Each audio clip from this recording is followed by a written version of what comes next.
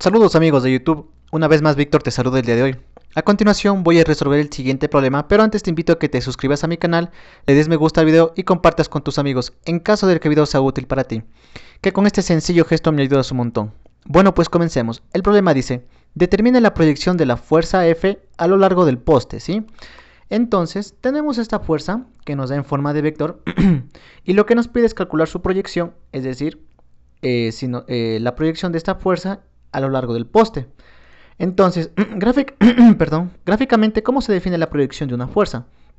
La proyección de una fuerza se define que desde el eje, que en este caso el poste, debo trazar una línea perpendicular, ¿no es cierto? Perpendicular sería por aquí más o menos, así en ese sentido, ¿no es cierto? Por aquí.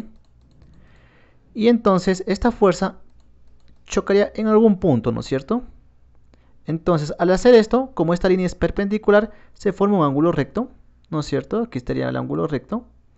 Y entonces, al ser un ángulo recto y esta fuerza chocar con esta línea, se formaría un triángulo rectángulo y tendría dos componentes. Una componente pequeñita que se generaría justamente aquí y otra componente que se generaría acá, ¿no es cierto?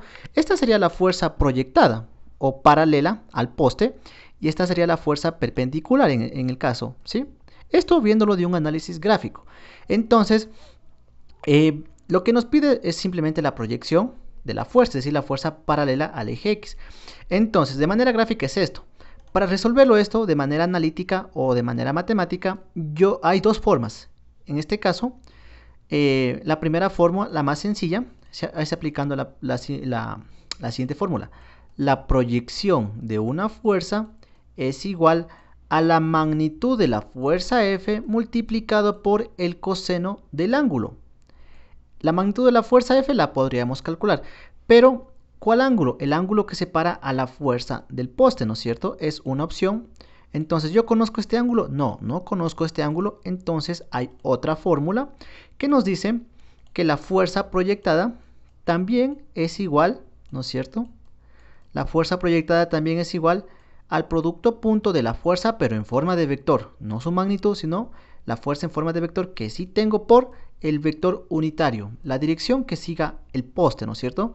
Entonces yo conozco el del poste, puedo conocer su punto inicial, su, un punto mejor dicho, y acá el otro punto.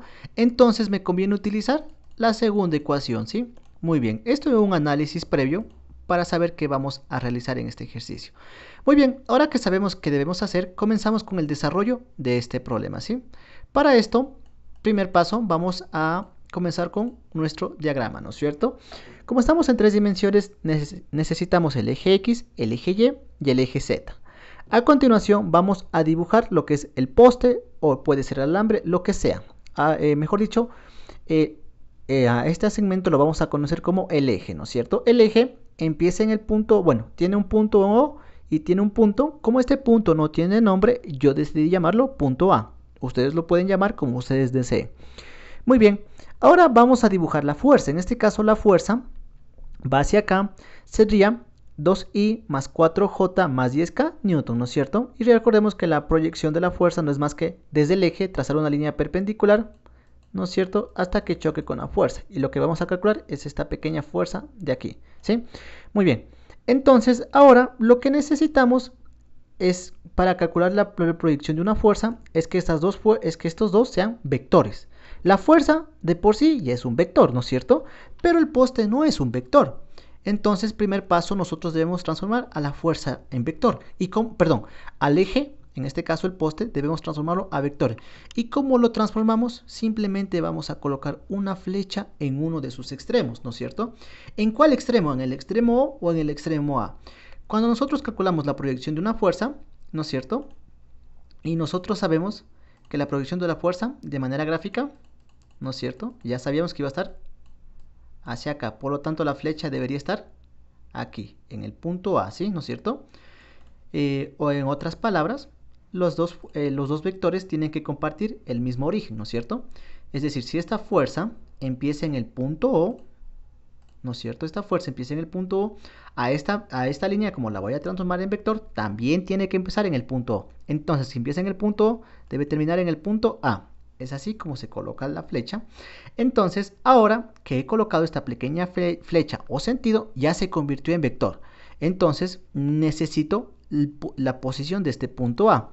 Entonces la posición del punto A sería 2i más 2j menos k metros. ¿Por qué? Entonces para establecer la posición de un punto siempre partimos desde el origen. Entonces, desde el origen para llegar al punto A, ¿cuánto me muevo en el eje X para llegar al punto A? Me muevo toda esta distancia porque es paralela al eje X que sería de 2. Es por eso que es 2i. ¿Y por qué positivo? Porque hago este recorrido y al hacer este recorrido en el eje X yo me estoy acercando hacia el eje X. Cuando yo me acerco hacia el eje X yo digo que esta posición es positiva. Listo, me encontraría en este punto. Ahora, desde el último punto donde me quedé, ¿cuánto me muevo en el eje Y para llegar al punto A? me muevo toda esta distancia que sería de 2 metros. Es por eso que es 2J. ¿Y por qué positivo? Porque desde el último punto donde me quedé, yo hago este movimiento. Al hacer este movimiento, yo me estoy acercando hacia el eje Y. Cuando yo me acerco hacia el eje Y, yo digo que esta posición es positiva. Listo, estaría en este punto. Ahora, desde el último punto donde me quedé, ¿cuánto me muevo en el eje Z para llegar al punto A? Me muevo toda esta distancia que sería de 1, ¿no es cierto? 1 por k va a dar k, es por eso que simplemente escribo k, pero se sobreentiende que aquí está el 1, ¿no es cierto? ¿Y por qué negativo? Porque con respecto al último punto donde me quedé, en el eje Z yo hago este recorrido. Al hacer este recorrido yo me estoy alejando del eje Z. Cuando yo me alejo del eje Z yo digo que esta posición es negativa. ¿Listo? Todo esto en metros, ¿no es cierto? Ahora vamos a comenzar con lo que es el desarrollo, ¿sí? El primer paso, cuando yo voy a calcular la proyección de una fuerza utilizando la segunda ecuación, Primero debo determinar la dirección del poste, ¿no es cierto? O del eje. En este caso recuerden que el poste ahora va a ser mi eje. Entonces vamos a hacer el, cálculo de la, dirección del eje, es decir, el vector unitario. Entonces el vector unitario AO, ¿no es cierto? Eh, perdón, el vector unitario OA, ¿no es cierto? ¿Por qué OA? Porque empieza en O y termina en A. En este caso O viene a ser el origen. Cuando O es el origen no se escribe aquí en la ecuación, ¿sí? Es por eso que simplemente coloco directamente el vector unitario A porque empieza en el origen y termina en A, ¿no es cierto? Entonces, ¿cómo se calcula un vector unitario? Es igual a la división entre qué? El vector posición dividido para la magnitud del vector posición. ¿Qué es el vector posición? No es más que el punto final menos el punto inicial. El punto final es donde está la flecha, ¿no es cierto? Sería el punto A menos el punto del origen, ¿no es cierto? Dividido para la magnitud, que en este caso cuando yo conozca el vector posición podré calcular su magnitud. Comencemos. Entonces, el vector unitario A va a ser igual al punto final, que sería la posición de A, menos el punto inicial, que sería la posición de O, que es el origen, y el origen tiene las siguientes coordenadas. 0i más 0j más 0k metros. Resto i con i, j con j y k con k, pero como estoy restando para 0, va a quedar exactamente lo mismo, ¿no es cierto? Entonces, ahora que conozco el vector posición A, puedo calcular su magnitud. La magnitud es igual a qué? A la suma de sus componentes elevadas al cuadrado, sería 2 metros al cuadrado más 2 metros al cuadrado más menos 1 metro al cuadrado. Y a todo esto saco la raíz y yo sé que la magnitud del vector posición A va a ser 3 metros. Ahora, metros con metros se simplifican o se eliminan y cada componente divido para este denominador y voy a obtener que el vector unitario A va a ser igual a 2 tercios I más 2 tercios J menos 1 tercio K, ¿no es cierto? Y esto sería la dirección del eje, ¿no es cierto? Esta dirección.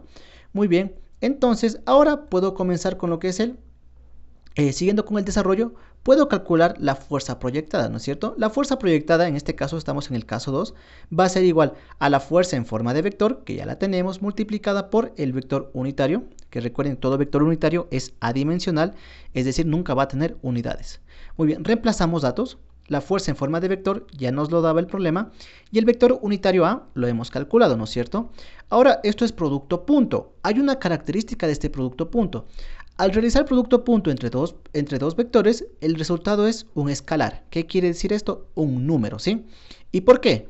En producto punto vamos a multiplicar i con i, j con j y k con k. Pero aquí va a pasar algo curioso. Al multiplicar i con i, se van a eliminar las i's. Al, eliminar, al multiplicar j con j se van a eliminar las j y al multiplicar k con k se van a eliminar las k, ¿sí? ¿Cómo sería? Primero vamos con el signo, ¿no es cierto? Más por más, más sería 2 por 2 tercios. Estamos multiplicando i con i, pero la i ya se elimina. Ahora vamos con j, más por más, más. 4 por 2 tercios y las j se eliminan. Vamos con k, más por menos, menos. 10 por 1 tercio y k con k se eliminan, ¿no es cierto? Y simplemente queda la unidad que en este caso era kilonewton. ¿sí? Resolviendo esta parte yo sé que la fuerza proyectada es igual a 0.6667 kilonewton. ¿sí?